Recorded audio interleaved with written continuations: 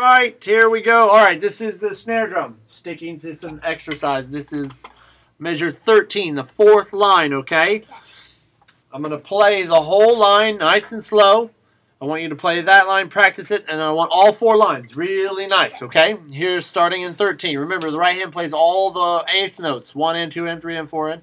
Left hand, all the E's and F's uh, one E and uh, two E and uh, three E and uh, four E and uh, one E and uh, two E and uh, three E and uh, four E and uh, one E and uh, two E and uh, three E and four E and uh, one E and uh, two E and uh, three E and uh, four E and uh. All right. The whole line, all right? Good work, Jake.